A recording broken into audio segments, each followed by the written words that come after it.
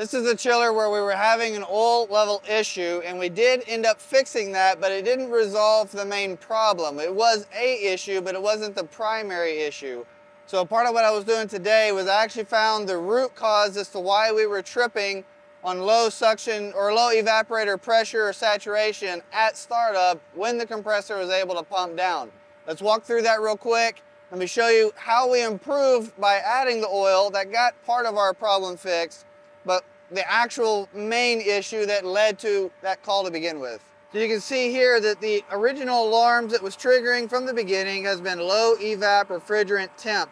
Well, what's happening is every morning at startup, this machine would try to turn on and it was tripping on that alarm and it was doing it fairly consistently. And so we've been trying to work through as to why. If you didn't see the service call where I went through adding or checking oil on an RTAA, then I'd recommend going and checking that video out. But the synopsis was, we verified through the sight glass that our oil level was too low in the separator. We only had a couple of inches. We needed a minimum of five up to 10. And to confirm that, we couldn't even get the compressor to fully stage up all the way. So it was cap out in the upper 80s in terms of RLA percentage, and it wouldn't go all the way to 100% when it was being told to. Even though the load solenoid was being activated, asking for more load, it wouldn't give it to it.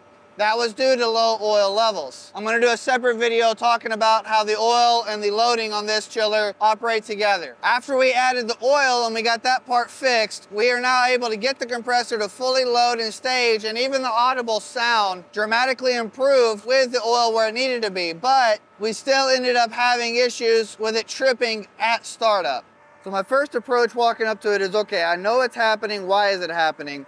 So I had them leave the chiller off. I got here first thing this morning and I got to see it go through its initial startup process after it had been able to sit overnight. Now when I did that, it was pretty obvious that within seconds, our evap circuit one saturation temp just took a nosedive straight into the dirt and pulled down to like 13 degrees of saturation, which is enough to trigger low pressure safety, which is why we were having that alarm. It's staging way too quickly, but I could come over to the compressor report and I was only seeing roughly 50% on the compressor at startup, which is higher than I, I know that it can be. I know these ought to be able to get down to about 40%, but 50% isn't terrible. So that made me ask the question as to what's actually happening when we go to turn on and run. So we've got a couple of loading solenoids here.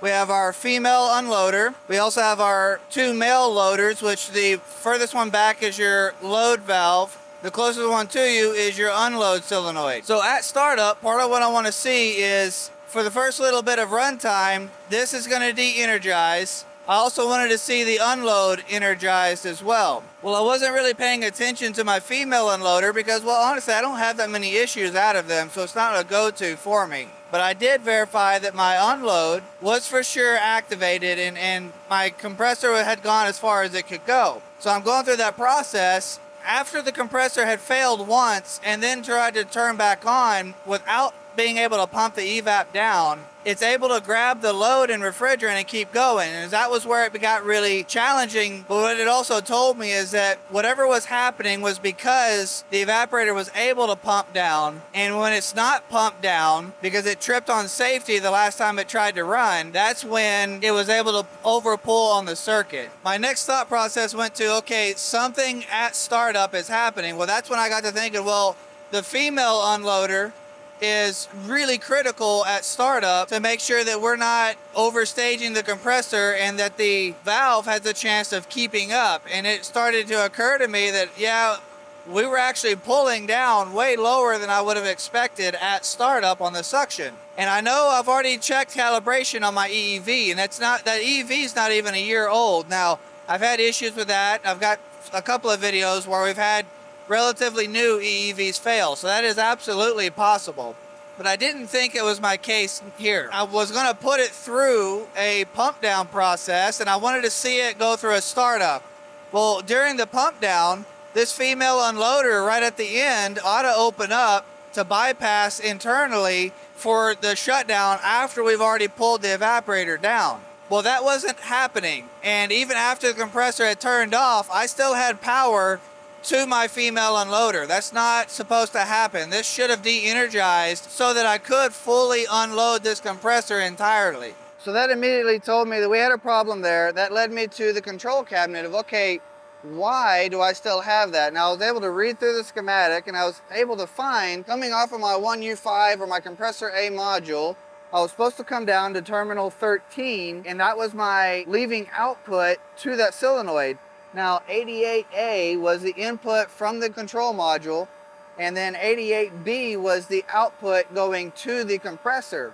Well, I noticed I only had wire 88A landed on terminal 13. There was no 88B. Well, digging through the schematic, I could see that, you know, J7 terminal number 9 coming out on 88A and B on 1TB3-13 was supposed to be where I was, but whenever I got to looking for it, because, okay, well, if it's not here, then it's got to be somewhere.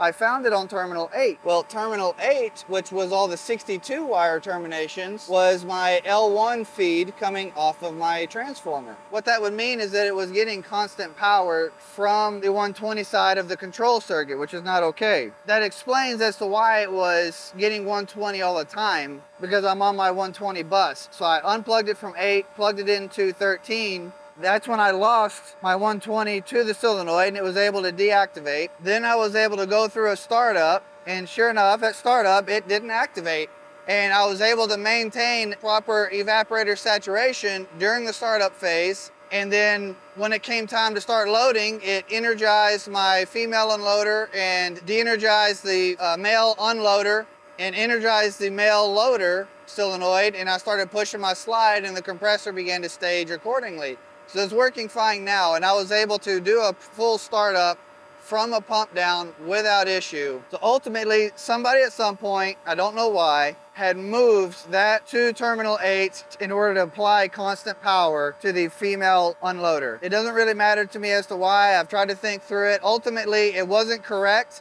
That was my main issue for startup. When we have this issue, a lot of times it can be an indicator that the EV is having trouble. It's not stroking right. Or we've got a sensor issue on the saturation sensor or the suction temperature sensor, or the slide valve isn't fully sliding back all the way to unload the compressor, or just all these things were happening. One thing I didn't notate was that at startup, with that female solenoid de-energized, we were able to get 42% on our compressor up here, which was a major improvement off of the 50%. So that explains why I wasn't seeing us get below 50. So everything has come together now. That was our primary issue. In that process, we did find our oil issue and we were able to get both resolved. So uh, going forward, I don't expect any further issues out of this machine. Granted, I say that every time. We always think that. We have confidence in what we do. Stuff's gonna happen. It's gonna go bad. It's gonna go wrong. It's gonna something.